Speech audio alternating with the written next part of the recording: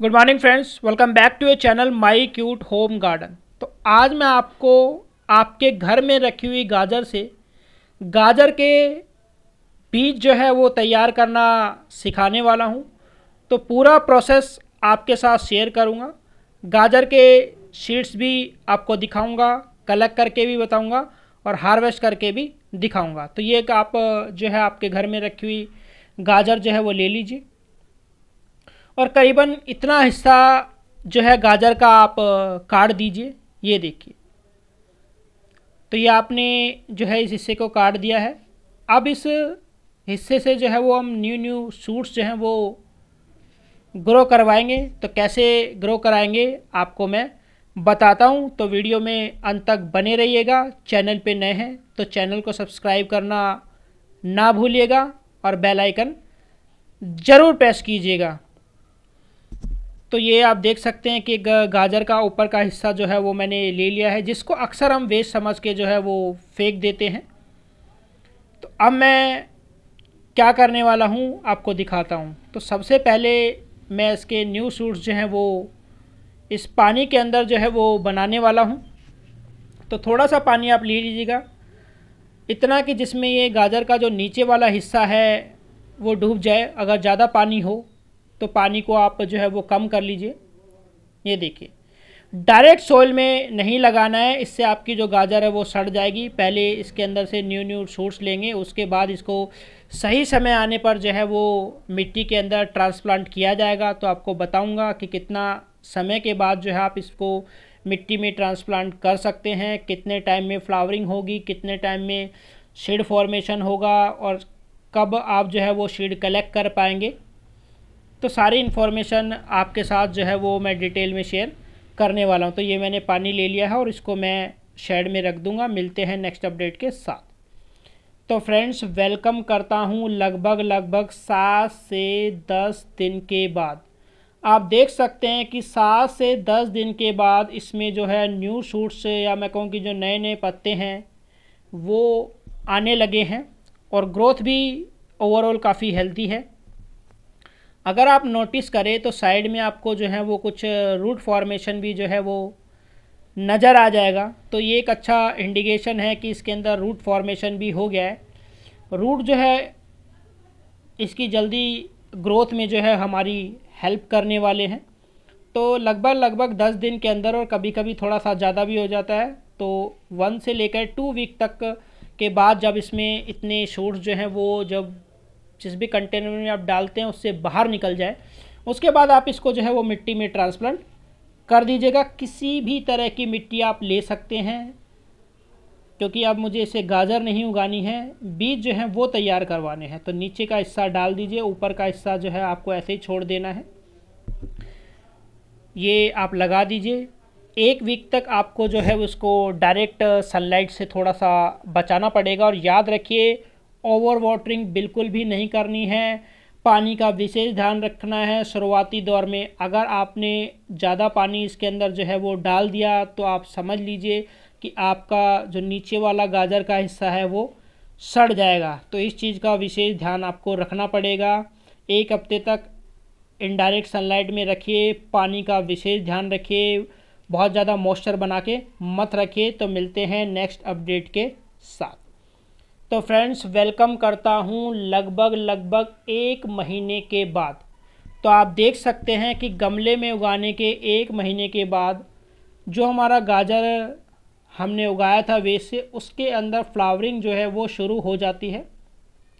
हालाँकि ये बहुत शुरुआती दौर है, ये बडिंग ही है, क्योंकि फ्लावर जो है इसका काफ़ी बड़ा होता है वाइट कलर का और बहुत ही ब्यूटीफुल होता है तो उसी पे जो है वो शेड फॉर्मेशन शुरू होता है तो मिलते हैं नेक्स्ट अपडेट के साथ।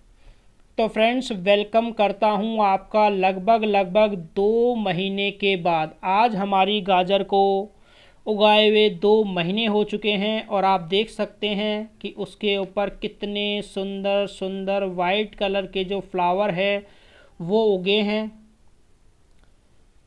और गाजर का जो फूल होता है, जैसा कि मैंने आपको बताया कि काफ़ी बड़ा साइज़ होता है और एक ही फूल के अंदर जो वो सैकड़ों सैकड़ों जो बीज है वो बनते हैं। एक बड़ा फ्लावर फिर बहुत सारे छोटे फ्लावर और छोटे फ्लावर में भी सिंगल सिंगल फ्लावर तो इस टाइप का फॉर्मेशन जो है वो दिखाई देता है और यहाँ पर आप देख सकते हैं कि करीबन करीबन ढाई महीने के आसपास आप देखेंगे कि जो सीड फॉर्मेशन है वो भी शुरू हो जाता है। फ्लावर सारे नीचे गिरने लगते हैं तो ये देखिए, इसके जो बीज है, वो सौफ के जैसे जो है, वो दिखाई देते हैं। हालाँकि सौफ के बीजों का गुच्छा जो है, वो इतना बड़ा नहीं होता है तो आप देख पाएँगे कि कितना हेल्थी शीड फॉर्मेशन जो है, यहाँ पर हुआ है। तो ये देखिए, जब जैसे ही फ्लावर जो है, वो मैच्योर होता है तो ऐसे छोटे छोटे आपको ये दिखाता हूँ, पास से मैं बिल्कुल दिखाने की कोशिश करता हूँ। ये देखिए, कुछ नीचे की तरफ़ आपको छोटे छोटे शीड जो है वो नज़र आ रहे होंगे तो सॉफ्ट के भी जो है वो ऐसे उगता है। तो ये आप देखिए ऑन एन एवरेज पौने तीन महीने जो हैं इसको हो चुके हैं और आप देखिए इसके ऊपर जो सीड फॉर्मेशन है, वो हो चुका है। सीड भी आप जो है वो आइडेंटिफाई हो जाते हैं। ये देखिए, दूसरा जो फ्लावर था उसके ऊपर भी आपको शीड देखने को मिलेंगे। ये देखिए कितना बड़ा फ्लावर है। यहाँ पर भी तो ऑलमोस्ट पौने तीन महीने के अंदर जो है इस पर सीड फॉर्मेशन शुरू हो जाता है। हालाँकि ये सीड जो है वो मेच्योर नहीं है। कलेक्ट करने के लिए रेडी नहीं तो ग्रीन से थोड़ा थोड़ा ब्राउन ये जो होने लगते हैं प्लांट के अंदर ही।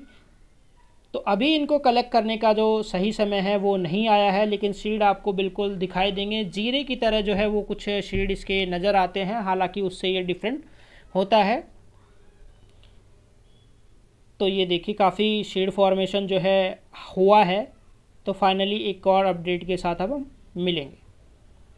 तो फ्रेंड्स वेलकम करता हूँ आपका तीन महीने के बाद।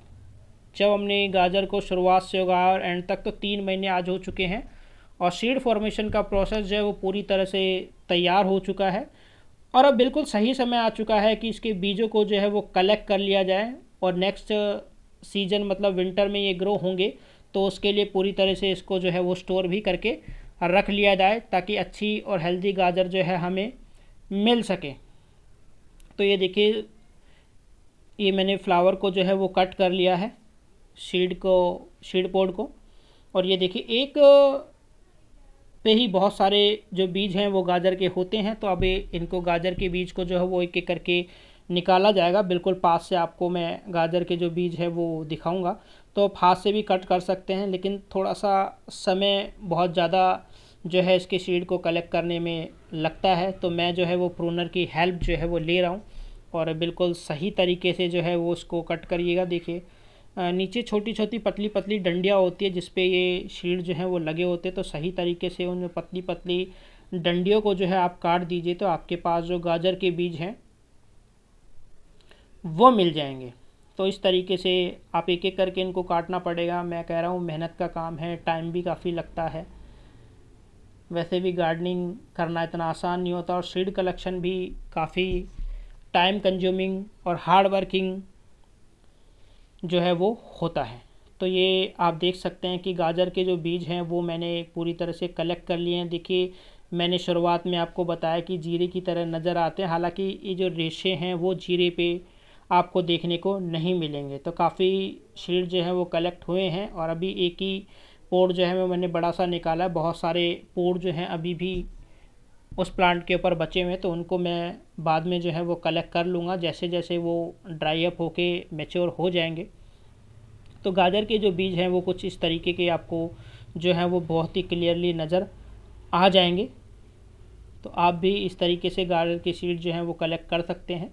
तो अब मैं बात करता हूँ इनको स्टोर करने की। तो स्टोर करने के लिए दो दिन गर्मी है तो अच्छी तरह से जो है वो धूप में सुखा दीजिए ताकि इसका सारा मॉइस्चर जो है वो निकल जाए और सीड आपके ख़राब ना हो। उसके बाद आप इसको किसी भी फंजेसाइड पाउडर में डालकर रख सकते हैं। अगर आपके पास फंजेसाइड पाउडर नहीं है तो जो लकड़ी की जो राख है या फिर जो गोबर के उपले की जो राख बनती है, उसमें भी डालकर आप रख सकते हैं। तो उम्मीद करूँगा कि ये वीडियो आपको पसंद आया होगा। अगर आपको ये वीडियो पसंद आता है तो इसे लाइक कीजिए, कमेंट कीजिए, शेयर कीजिए और चैनल को सब्सक्राइब करना ना भूलें। बेल आइकन ज़रूर प्रेस करें। Thanks for watching my video and we will meet in next video